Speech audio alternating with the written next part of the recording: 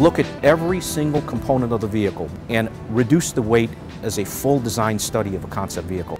We're taking a full-size sedan and making it the weight of a small compact vehicle. Within Ford Research, we've actually been working on lightweight vehicles for many, many years. Ten years ago today, we were commissioned to design and develop the Ford GT Supercar. And It was all lightweighting for speed.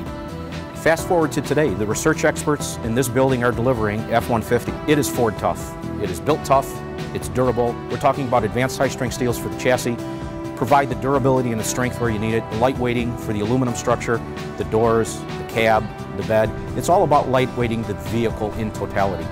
Now when you take that concept of lightweighting the F-150, it's the same thing about the concept vehicle behind me. Look at every single component of the vehicle. This is a cast iron brake rotor. If we make the jump to an aluminum brake rotor, we're taking about 38% weight out. This is an oil pan. Normally it's made out of a cast aluminum. We are making it out of a carbon fiber composite, a carbon fiber wheel and also a lightweight tire.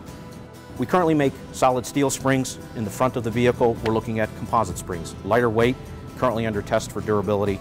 A lot of the technologies that you're seeing demonstrated on this vehicle are not ready for high volume production, but the message around this vehicle is it could be built into a high volume capable product. Lightweighting does not come for free.